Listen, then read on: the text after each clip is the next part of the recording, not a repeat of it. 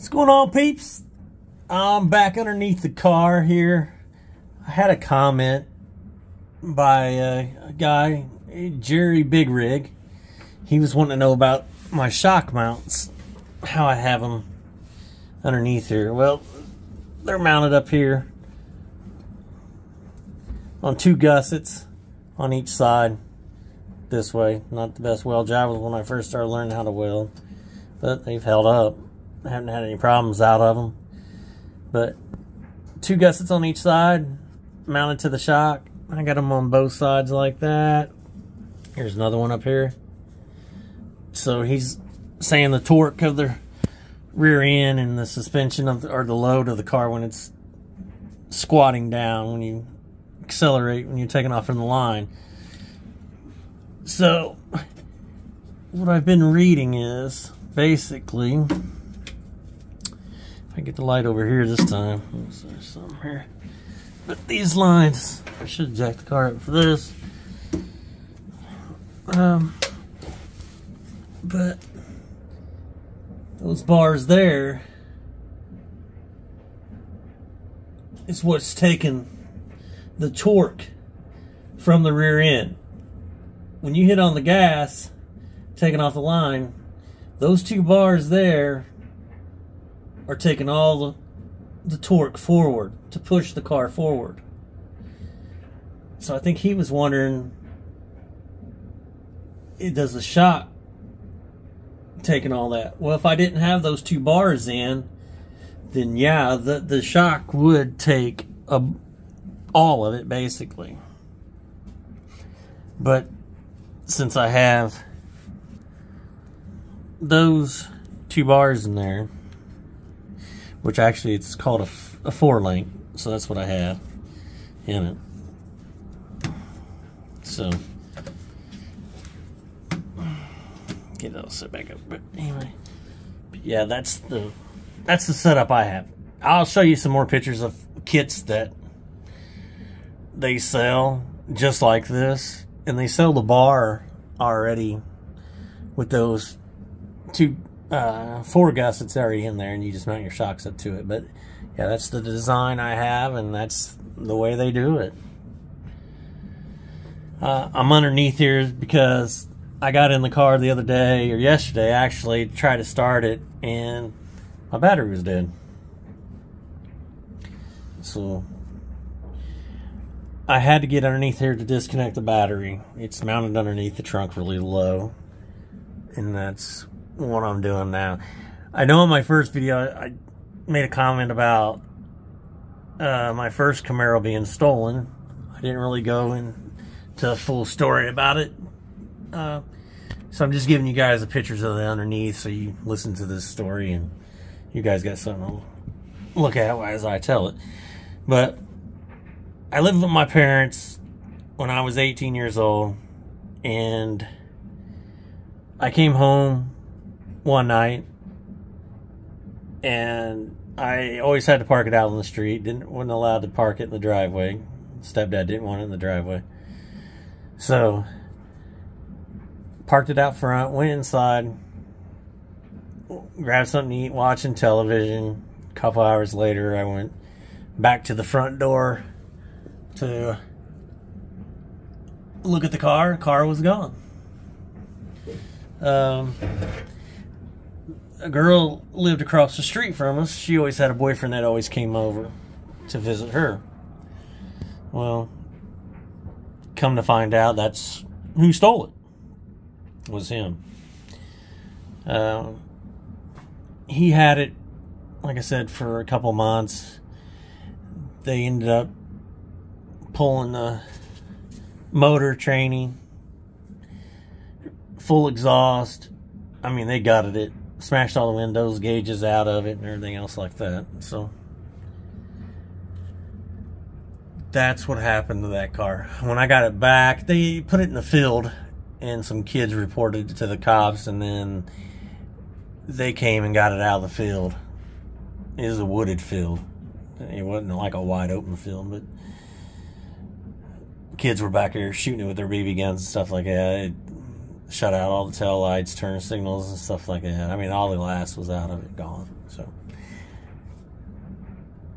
there, I went into the story about that, and how I found out about that was uh, it was word of mouth, I guess. I mean, as soon as I got the car back out on the road, one of the girls in the neighborhood said, "Well." That such and such vehicle? Um, yeah, wasn't that such and such vehicle? And they said, no, that's John's. He just got it back. It was stolen and he just got it back and got it back together and put it out on the road. And she said, well, such and such was driving it um, a while back ago. So that's how I figure out who, who stole it. If that makes any sense. yeah. It's a tight spot underneath here. I tried to get a little bit better, but I couldn't. So anyway. It's more of a setup. But yeah. Let me get out of here. Yeah, that's the story on that. Now I did end up taking the battery out of the car. I, I, don't know what killed the battery. I don't have a clue. I just it sits right down there. Clean all, clean all that up. I don't know what done it. I have no clue. Uh, on these Optim Optima batteries, you can't like hook a regular charger up to them. You have to trickle charge them. Um, see. How can I But this has been on charge for two days now.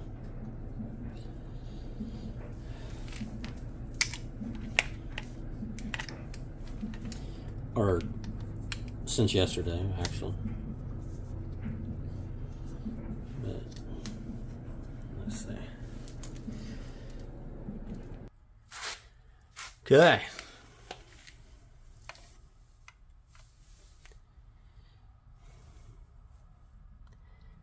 Nine nine five. So was to um four volts. So yeah, I don't know. car has no power in it at all until I until I turn the switch on.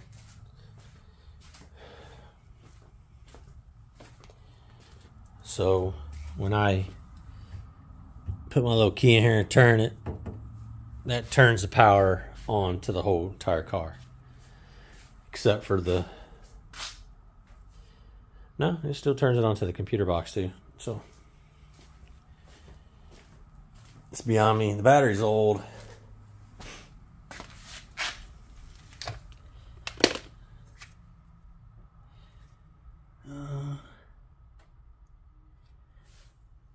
Was a date on here at one time, but I guess not. But anyway.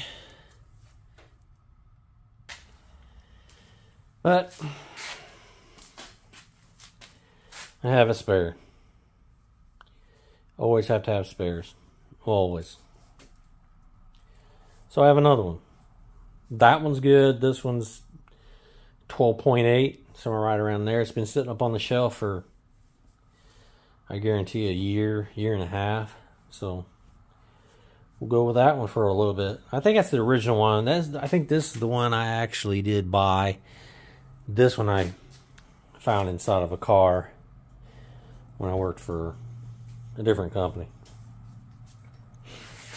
So I'm gonna get that in there.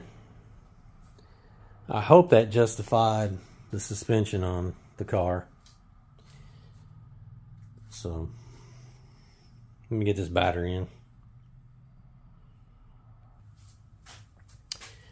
And by the way, yes, I did get this all mounted up. I still have my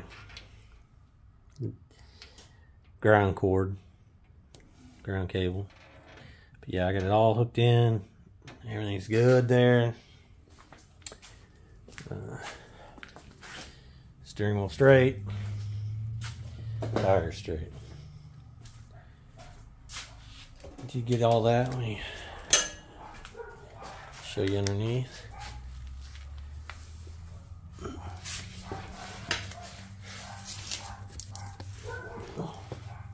If you guys hear the dogs, yeah, they're going at it.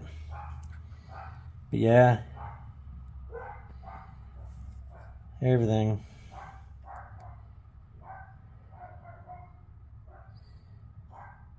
Connected, tightened, greased. Re-greased the fittings underneath there, as you can tell.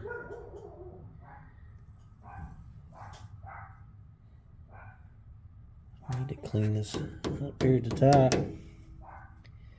I'll get to that, but yep. This is all good. Some more grease hanging down. Back up top. Did get the bar welded in also. Got that all welded in all the way down. Just got to paint it black now. Like I said, I got all the hood pins readjusted.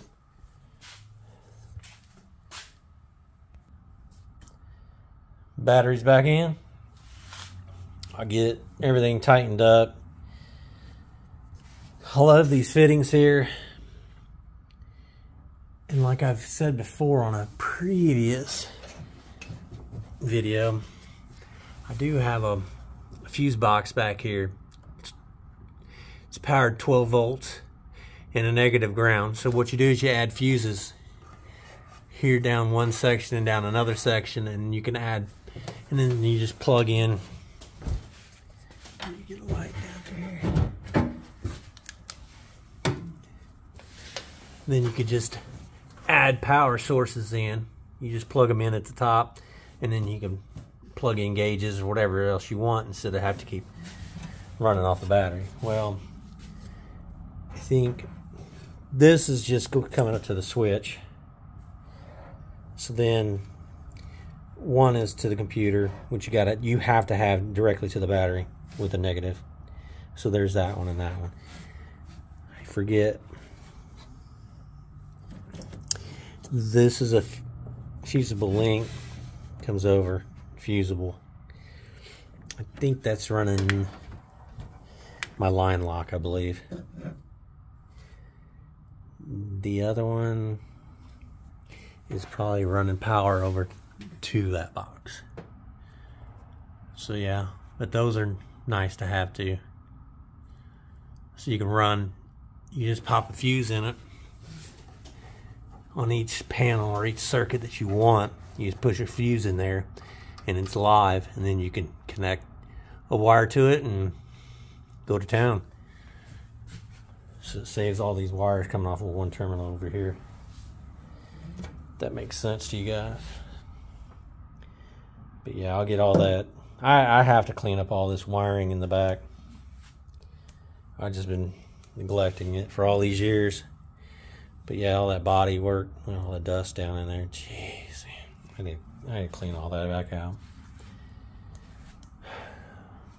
So yeah, that's what I'm doing. But like I said, I got everything in, guys, and so I'm moving on. So let me get this thing running and I'll be back at you. Battery all hooked back in. Now see when I had the power on back there, I came in here. I didn't have any lights on in here, nothing like that. So I don't know what caused the battery to go down. Trans brake button. You guys can hear that clicking, that's good.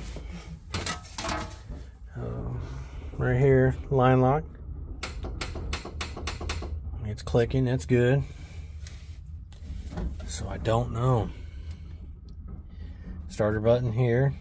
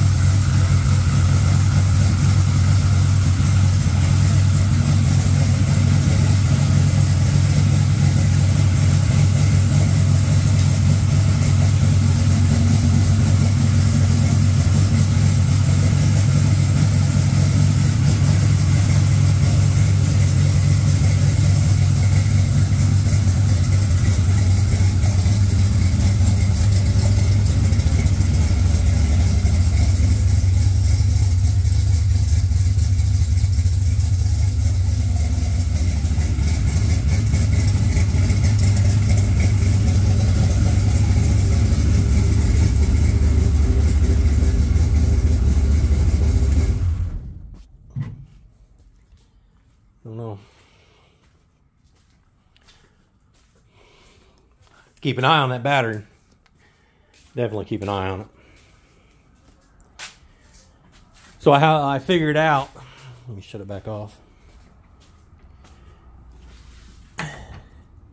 Something was going on with the battery.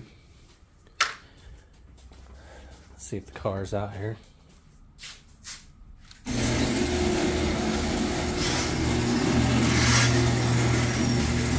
Garage door is noisy as hell. But yes, okay. Dogs barking in the background. Aha. They don't want to be on here. But I changed the belt. Aha! Changed the belt on that.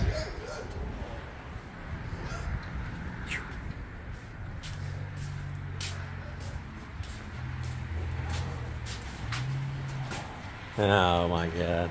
You guys don't want to be on on there. They didn't want to be on here. So anyway, that's her that's her daughter.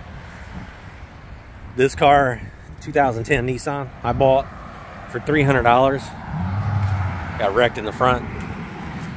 And I totally redone the whole front of the car. If I can still find the pictures, I'll show it to you guys. But I had to put a uh, serpentine belt on that yesterday. So when I done that, uh, daughter's boyfriend wanted to, his friend wanted to hear the car run, so I went ahead try to start it, and it had a dead battery. So that's how I figured out what it was, or what the problem was. So yeah, like I said, I just don't work on this. I got, I work on. I put a video of the Jeep Jeep way back there. Did a thermostat on that one. And then I did a whole lot of something something to that. I don't touch her car. Her car's brand new. Um, my 2015 Duramax. I had to change the DEF heater in the tank. And I put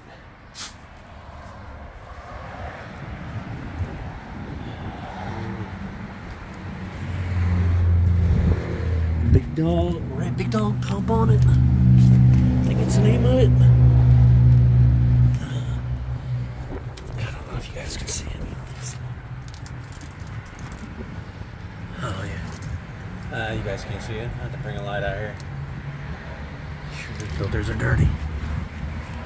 Gotta get those changed. But anyway, I put a pump on there. What's that? Auxiliary pump on there. Pumps the fuel from the tank up. And I think it's uh, CP4 pump. It helps pump the the fuel up. Hold on. Garage door again